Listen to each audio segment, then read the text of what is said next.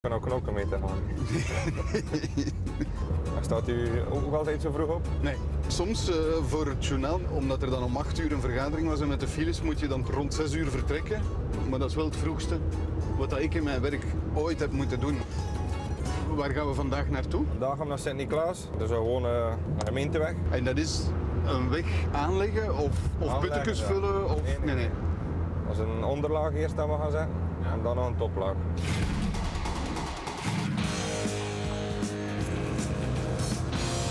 En Stefan, wat kan ik doen? Ik kan misschien hier op machine zitten vandaag.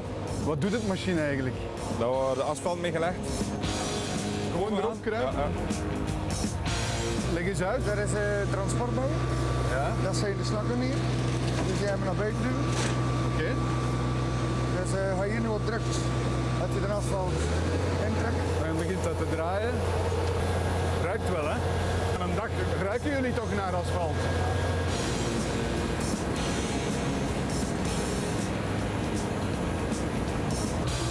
Ik ga eens proberen. Va? Maar je blijft in de buurt, hè? Oké, ça va.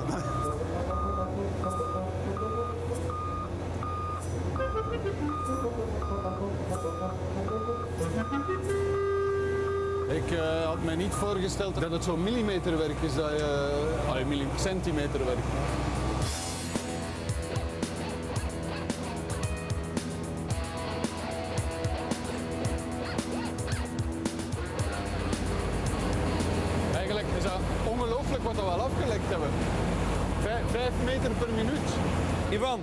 Kun je misschien een schopje bijgooien hier? Ja, ik zal eens... Ja, oké. dat is wel Ja, maar, raar. eh, schop, Huh? wat asfalt hier. Laten we zeggen dat 20 jaar geleden is dat ik een, nog eens een schub in de hand heb gehad.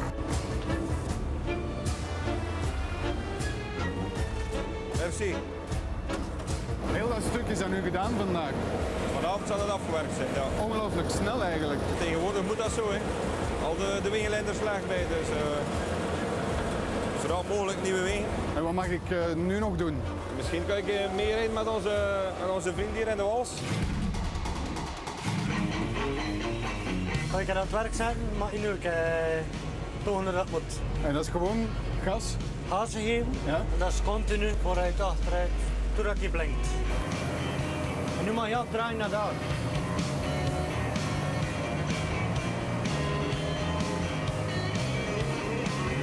Krijg je soms boze reacties van mensen? Dikwijls mensen die dingen gooien, hè.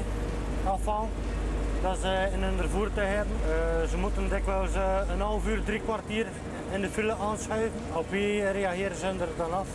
Ja, De wegenwerkers. Hè. In het begin moet je eigenlijk kruppen hè, met je rollen. Ja, hè? Heel traag.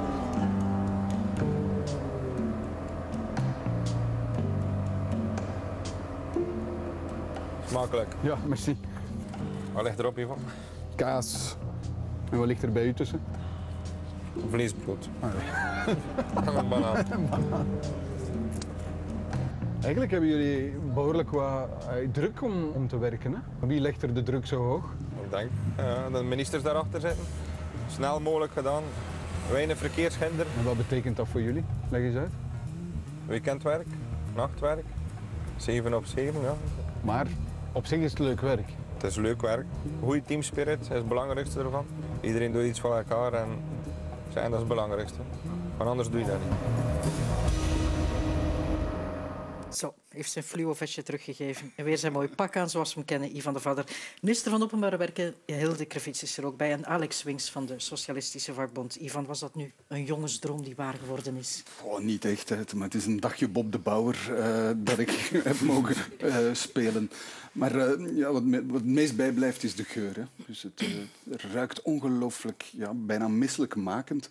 En je zit daar, als je daar boven op Ja. die machine zit, hang je er eigenlijk boven. En dat kruipt in je kleren, in je haar. En dat is eigenlijk wat, wat je ervan thuis uh, brengt. Hoeveel meter heb je nu precies gelegd op een dag? Ja, ik heb met die machine... Ik zelf heb 50 meter gelegd. Uh, maar... Ben je daar nu trots op? Ja, ja, ja. Ben je er al gaan overrijden van... Je, dit is een, eerste, een eerste laag. Want dus die ploeg heeft die dag gewoon die hele straat, die toch een paar honderd meter was, eerste laag en dan meteen de tweede laag uh, erbovenop. Dus tegen s'avonds was, was die hele straat uh, waar rioleringswerken waren gebeurd, was, was klaar, gedaan. Even over de werken toekoer. Ben jij ook een van die chauffeurs die zich daar aan ergert? Ik erger mij er vooral aan als je erdoor rijdt en je merkt dat er niet gewerkt wordt. En ik zal nooit dingen gooien, want dat is wat, wat, iets wat ik geleerd heb uh, daar. Ze zijn heel trots op, op hun werk en wat ze doen. En ze werken eigenlijk keihard om die dingen zo snel mogelijk rond te krijgen. En als je dan als automobilist langs gaat, raampje open en verwensingen, dat is dan nog het, het minste. Maar ze vertellen de hond brood uh, eruit, de flesjes eruit, de colablikjes.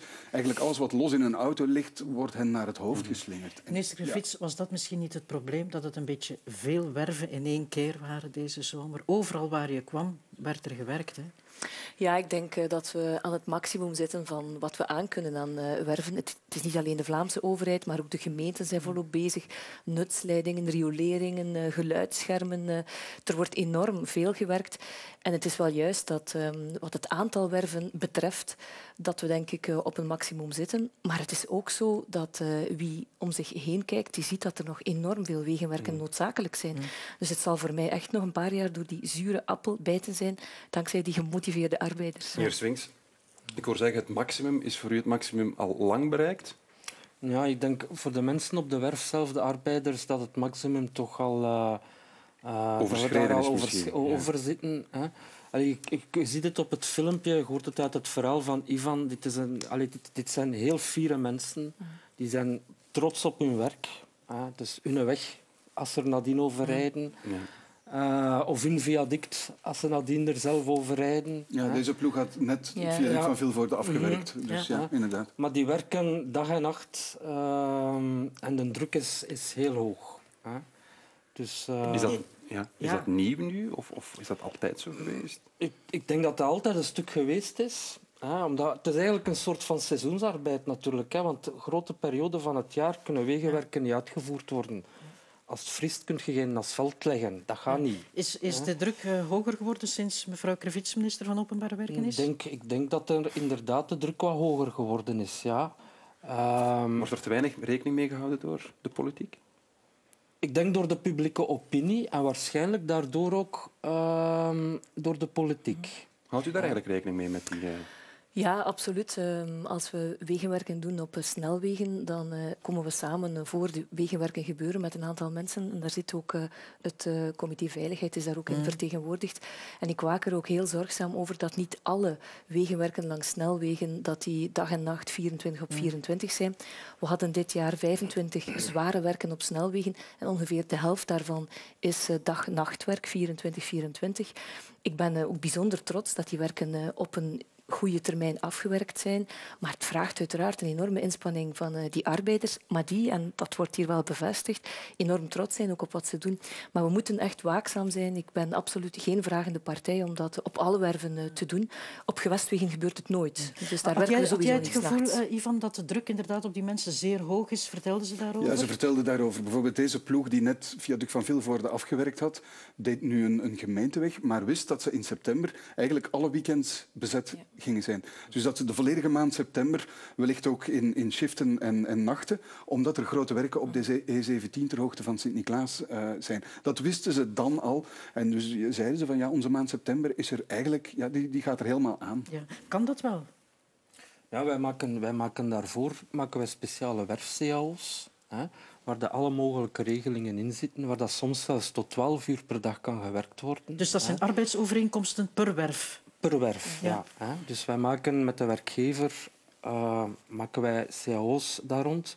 Wat is eigenlijk volgens mij een beetje het probleem? Ik denk, uh, en dat is tenminste toch de perceptie, dat uh, vanuit het beleid een heel belangrijk criterium is de mobiliteit en de doorstroming van het verkeer. Mm -hmm. En naar aanleiding daarvan is er een heel grote druk om de termijn waarbinnen het werk klaar moet zijn altijd maar in te korten. Enerzijds. En zien wij soms ook op, op sommige werven dat uh, de organisatie van de werf, dus de manier waarop dat de werf moet georganiseerd